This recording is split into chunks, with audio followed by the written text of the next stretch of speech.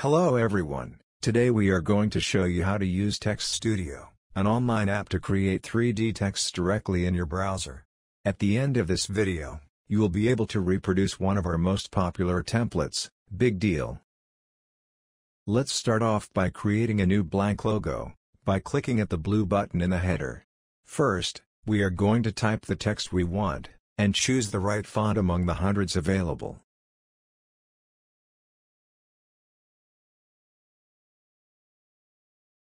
Then, let's fill this text with a soft blue gradient.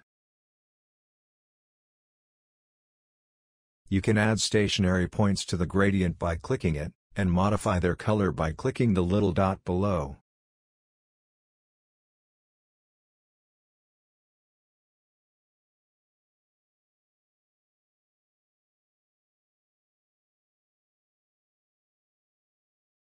To start adding depth, we can enable and configure the 3D projection parameter.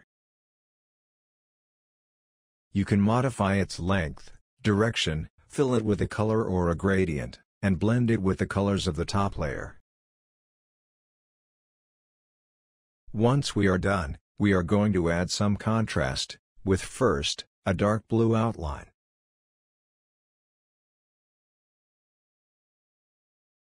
And then, a 3D outline with a bright yellow gradient.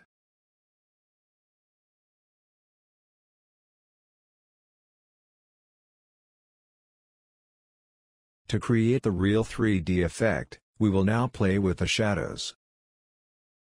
The shining effect can be created with a slight white inner shadow. Try modifying all the parameters of the shadow until the result is realistic and satisfying.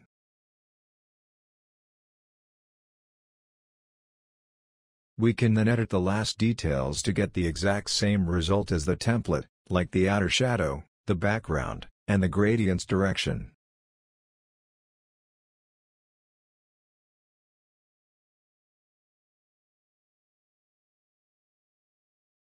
You can now download the result of your artwork, and you know how to create your own text on TextStudio.co.